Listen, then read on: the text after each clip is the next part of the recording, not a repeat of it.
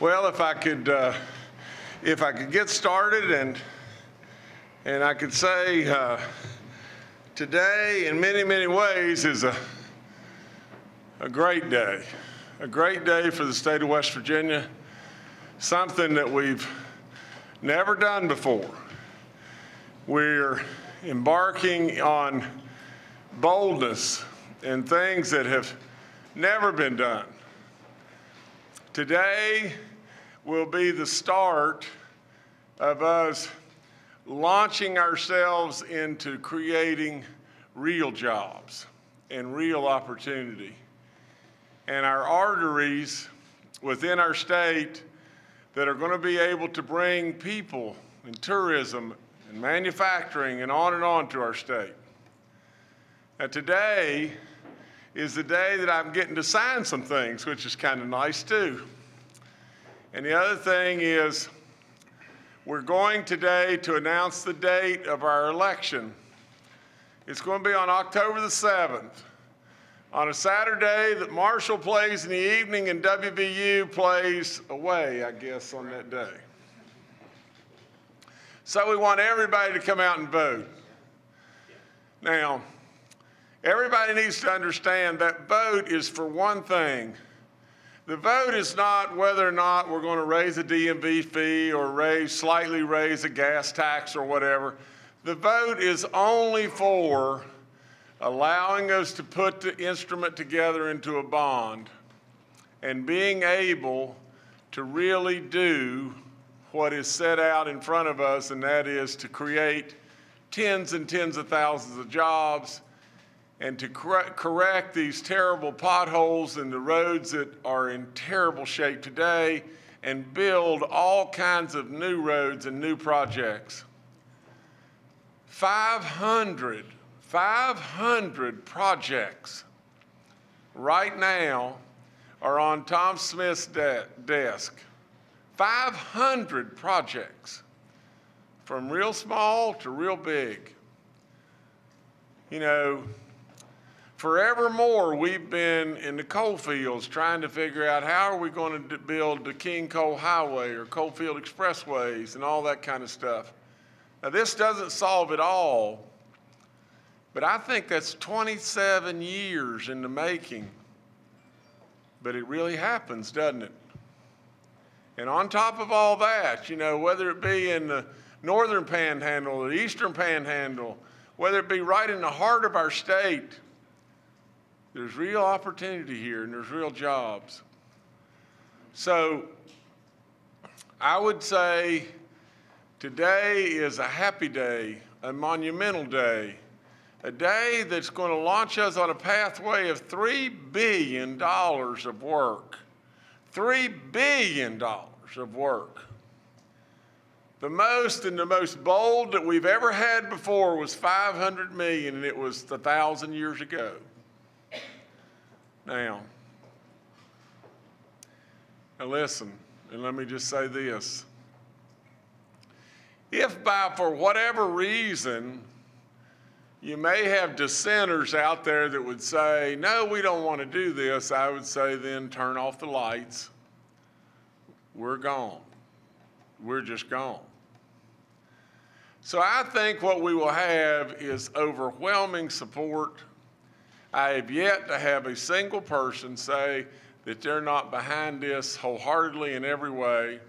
And so, with great, great pleasure, I'm going to sign two instruments today. One basically is an instrument that says, if I could deviate from the roads just a bit, that says our $8 E-ZPass is going to become a reality. And we're truly going to be able to let mountaineers go for free.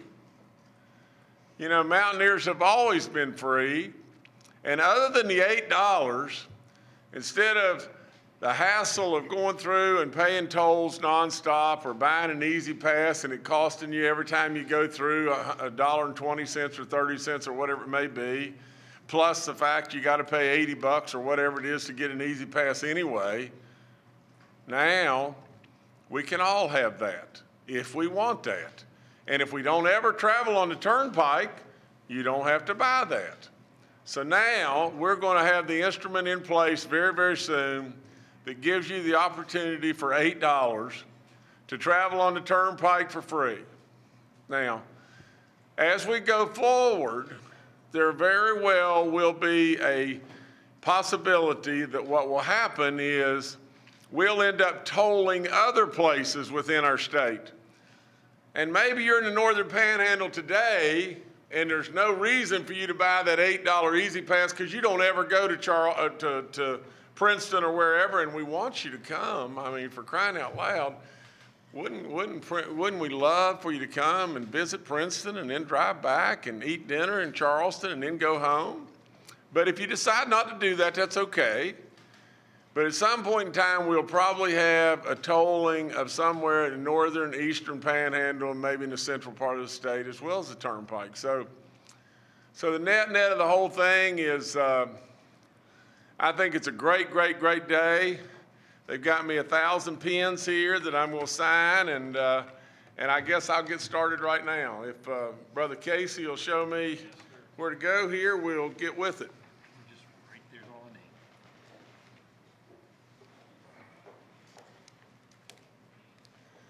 But I can promise you this, of everything that has been done in this state forevermore, this is the biggest. Now, you better listen to me on that. This is the biggest. This is the boldest. This will absolutely save our state. It really, truly will. I mean, you just think of what will happen with this. Thousands and thousands and thousands of jobs. The revenue will be unbelievable from this. Unbelievable. I've said it all along. The revenues will be off the chart. And then you know what will happen? We'll be able to bring people. You'll be able to get to West Virginia and go home if you live elsewhere. This will be an opportunity for people to come back to West Virginia and live in West Virginia. We all know how great it is. We need the outside world to see just how good we really are. This right here, with the stroke of this pen, there is nothing that has happened in my lifetime, I think, to this state that will perpetuate this state like this right here. And for that, I am proud beyond all comprehension. This is our moment right here. And you remember that. If I go out of here today and a truck runs over me today, you remember that this, this will truly save our state. It is a moment that a lot of us have been have, have worked awfully hard on, and nobody could be more proud than me. So here I go.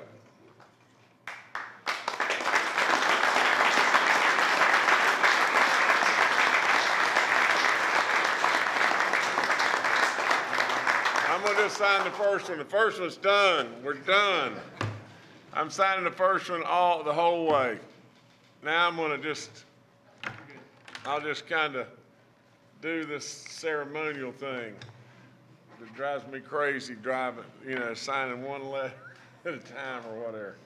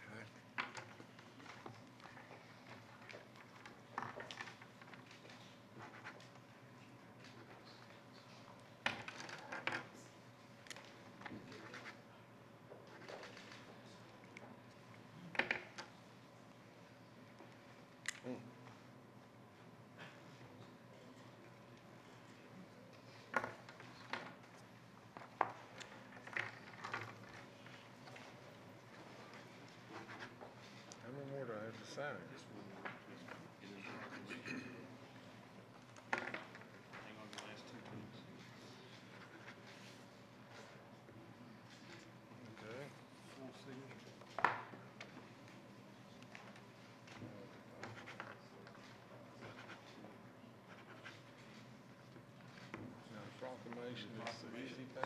Yes, sir, this is proclamation on the election day, October seventh. Oh.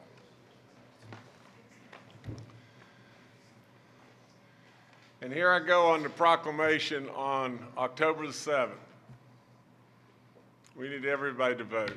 I love it when the people vote and the voice of the people's heard. So, and I sign, This is gonna reach right there. My fingers, right here. Okay. I'm gonna do this with this.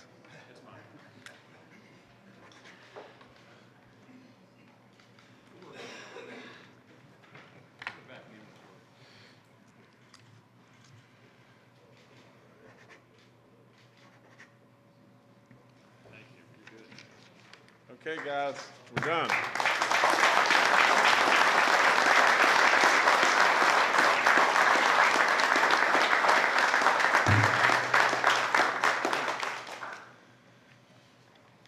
Well, I always welcome you to ask anything you'd like to ask, but, uh, Governor, is there, is there a road you want done first?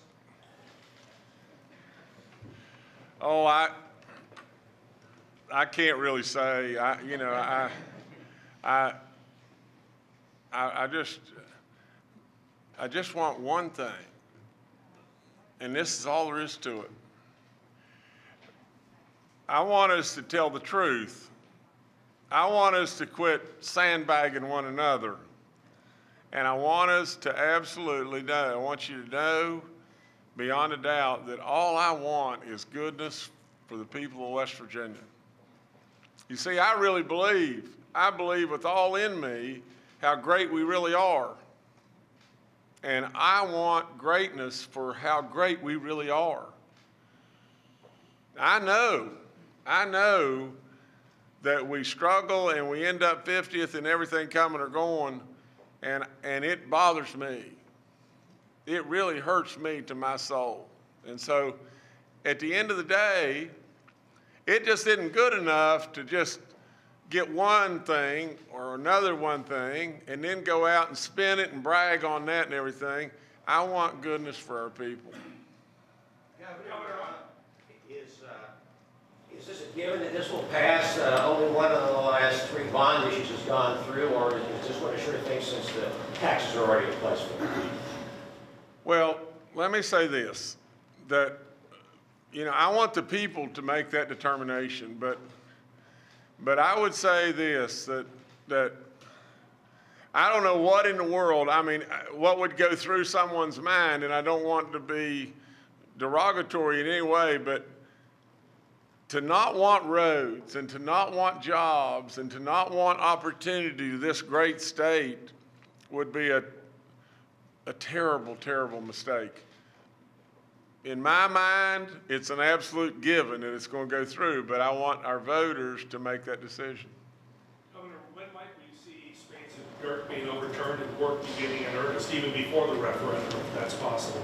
Well, you'll see some because we've got the, the GARVEE bonds and you'll, and, and, you know, and, and you see, you'll see the impact of the, the, uh, the wholesale gas increase go into effect immediately and, and you'll see, you'll see action starting immediately. I mean, that's all there is to it. Will this help fix existing roads, potholes, and things like that, or is this strictly new construction? I'm sorry, sir? Will this help existing, make existing repairs, or is this new? Absolutely. You know, right now, we, we are spending about $160 million a year, $150 million a year in maintaining our roads. And in all, in all honesty, to really maintain the roads correctly, it's probably going to cost close to 300 million to get them back online. But you, this, this will give us additional bonding will be done that will give us the ability to, to fix and repair the existing roads. If we don't do, just do that and all we do is build new projects, if you've got a road that's, uh, that you don't have a new project coming into your town and everything, well, that doesn't help you. So what we've got to do is fix the, fix the, fix the existing roads as well. But to be clear, the roads program doesn't hinge on the bond issue, right? If it fails, we'll have a- a smaller scale roads plan, correct? If it fails, this state is history. It's gone. That's all there is to it. If it fails, you'll have a minuscule, and you will not be able to generate the revenue that we've plugged into the budget as the economic gain in revenue, and if that happens, you'll spin back around and have to further cut DHHR and K through 12 and then further cut our universities. You will have a complete meltdown if this doesn't go through. Governor, what's the timeline for getting these bonds to market, both the parkways and the general obligation bonds? I I can't tell you exactly, Phil, but, but we're, you know, we'll be working, you know, with all of our accounting people and, and, uh, and, and to be able to, to put that out at the very earliest moment that we can put it out. The reason for that's real simple. Interest rates are low. You know, the longer we mess around with it, this, the higher the probability that interest rates rise. And if interest rates rise, it hurts us. It just hurts us all over the place.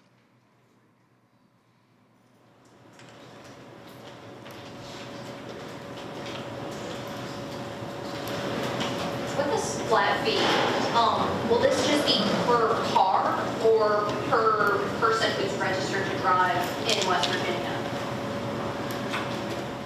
Well, I don't think it, what do you mean by, by that? I'm sorry. The, with the Mountaineers drive free, will it be, um, you know, for, for just one car that's registered or will it be for individuals?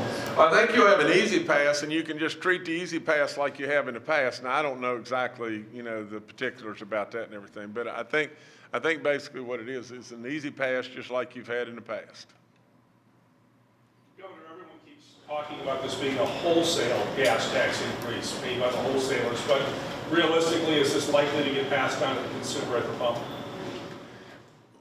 Realistically, it, it kind of goes back to the level of where our wholesale gas price was, the index price was before. We just changed it back to that. But it, it, it is a three and a half, I think it's three and a half cents or about that and everything. But, uh, I don't know how in the world we could trade, even if it was a straight pass on. And, you know, and oil prices have dropped and everything. And so, so I mean, you could see a three and a half change in the gas in the gas price with any fluctuation in oil prices, and we see it every day. So I think it's very, it's, it's almost, it's almost minuscule beyond belief for the benefit that we're going to get out of it.